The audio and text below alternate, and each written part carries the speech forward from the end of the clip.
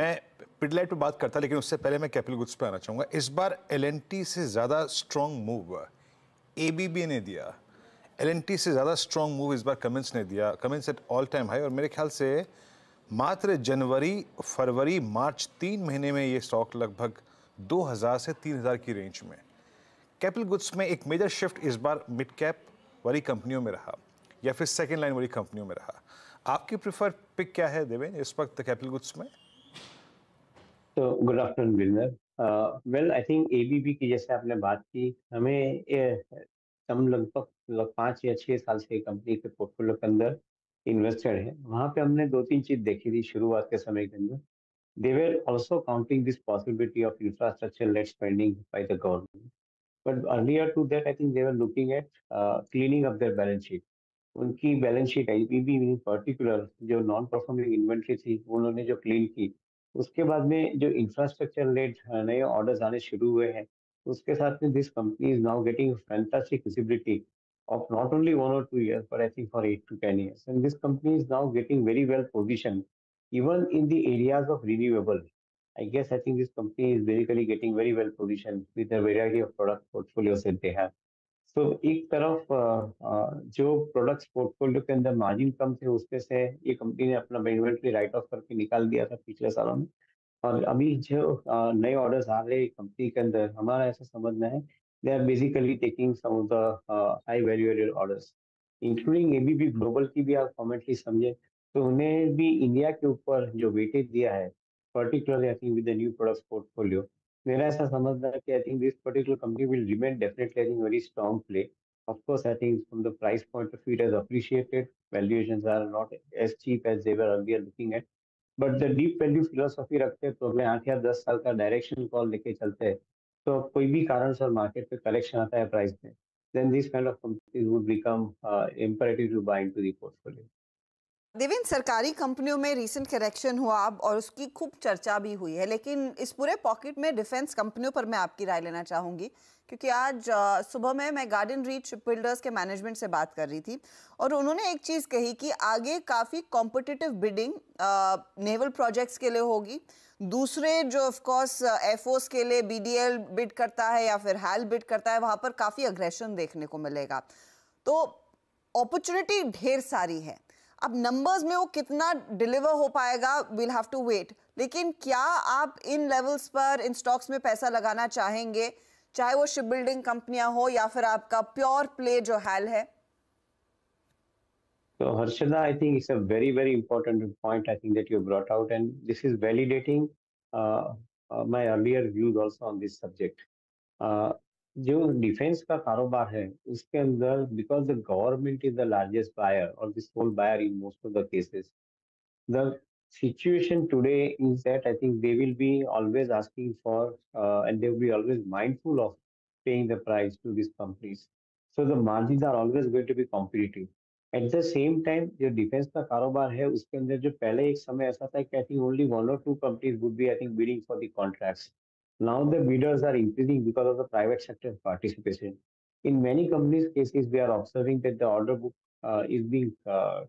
very very competitively i think bidded and that is where मैं समझता हूँ कि आई थिंक मार्जिन इतना नहीं कमाने मिलेगा एच जैसी company definitely I think remains I think very very strong candidate but मेरा ऐसा मानना है कि उसका वैल्यूएशन आज की तारीख में एडिक्वेट है फेयर प्राइस के ऊपर ट्रेड कर रहा है स्टॉक लंबे अरसे के लिए विजिबिलिटी मिल रही है नई ऑर्डर के साथ में बट फिर भी ये ट्रेड प्राइस फेयर प्राइस पे ट्रेड कर रहा है। We'll have to look around for some of the ancillary players in to the defence segment कि जहाँ पे आपको शायद uh, अपॉर्चुनिटी बेटर मिल सके। One company which we have defence play which is in private sector which is solar industries of course the stock price actually moved up very significantly but मैंने जैसे पहले भी एक व्यू रखा था कि मार्केट में जब भी कोई करेक्शन आता है, कोई भी टेक्निकल करेक्शन आता है, कोई भी कारण से करेक्शन आता है तो some of this companies which we identified they would probably become natural buy opportunity to add in to the portfolio so we are selective as of now I think no hurry to add many stocks in the portfolio maybe I think some ancillary players if you do identify in subsequent period of time which we are currently researching on maybe I think उसके अंदर शायद opportunity हमें मिल सकती है ऐसा मेरा मानना है आईटीसी पर आपकी क्या राय रहेगी कंस्ट्रिंग uh, वो बैट के स्टेक सेल का ओवरहैंग जो था वो भी अब हट गया है uh, क्या फिर पोजीशंस लेना शुरू करेंगे आईटीसी में या है Yeah, we continue to hold position in ITC and we would love to keep it, I think, in our portfolio. Uh, and I think this is a, probably one of the best opportunity that one is getting. Whatever the overhang was there, I think it is gone out. Maybe अगले छह महीने के बाद जब भी वापिस I think एक बार एक पॉसिबिलिटी हो सकती है बैट को बेचने के लिए अपना stake according to me I think the participation of financial investor in to such kind of professionally run companies would be extremely important because it is this financial investor who bring their quality influence in to the cap through the cap table और उसके हिसाब से I think ये company के अंदर growth अच्छा बनता है। if you look at each of the verticals be it agri verticals be it fmcg verticals paper and paper board vertical or hospitality vertical it vertical in each of these vertical according to me i think this company is very well positioned and जो पहले का एक समय था कि जिसके अंदर हर वर्टिकल को main unit cigarette unit would be contributing towards and today i think the situation is to a greater extent i think stabilized and most of the verticals are uh, generating their own cash and expansion programs are also being carried out so we remain very comfortable uh, uh, with itc in the portfolio. Deven अब आते हैं auto में front line में और specially passenger vehicle segment में। मैं तीन stocks को लेता हूँ यहाँ पे एम एन एम मारुति और Tata motors M and M को इनफैक्ट ये पूरी ड्यूरेशन पोस्ट कोविड की आई मीन इक्कीस बाईस तेईस बिलोंग करता है। आई I मीन mean,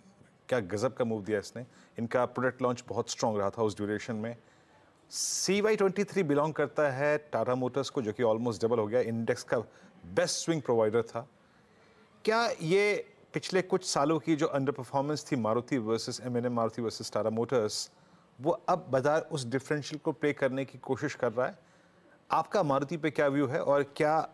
इस साल का बेस्ट ऑटो परफॉर्मर ये हो सकता है क्या, जो परफॉर्म करके दे इस बार?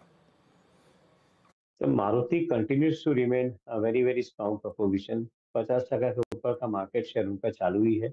And the way in which they smartly shifted in to value added और maybe I premium products I guess I think that is started giving them with better lever for the margin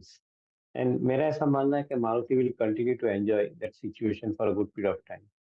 I am not completely sure about I think in some of the models कि जहाँ पे import component dependency है, वहाँ पे currency fluctuation की क्या impact आ सकती है? मुझे ऐसा क्लियर हैंडल नहीं मिल रहा उसके ऊपर। But on otherwise I think the company on the sales and the business front I think should looks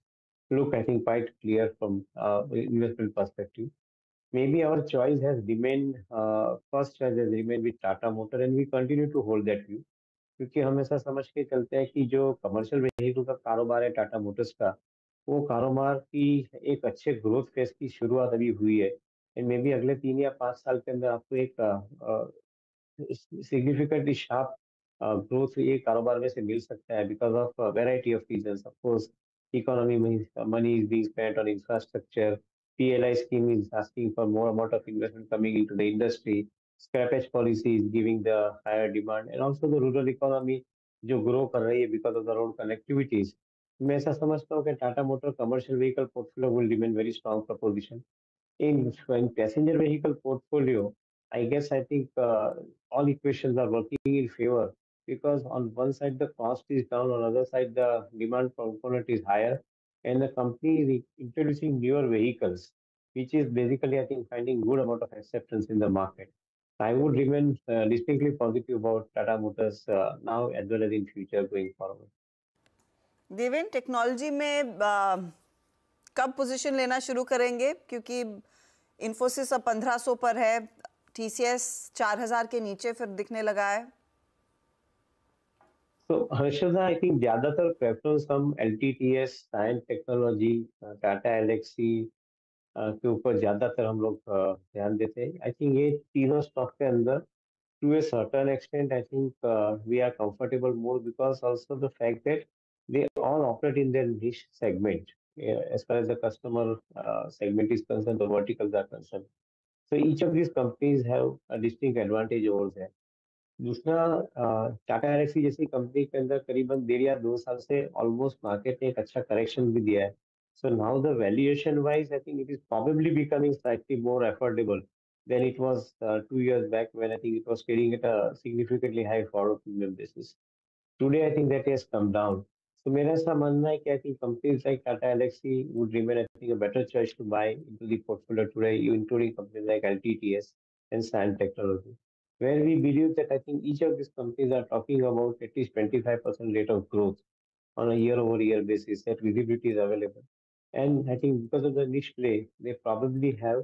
uh, repetitive business coming from their customers. So we prefer, I think, this kind of companies in the portfolio top-run companies like Infosys and TCS, they are good. I'm not saying no to that. But percentage-wise growth is coming better in these two, three companies which we are following actually having in our portfolios. Okay okay, Deven बहुत बहुत शुक्रिया आज हमारे साथ जुड़ने के लिए और हमसे बात करने के लिए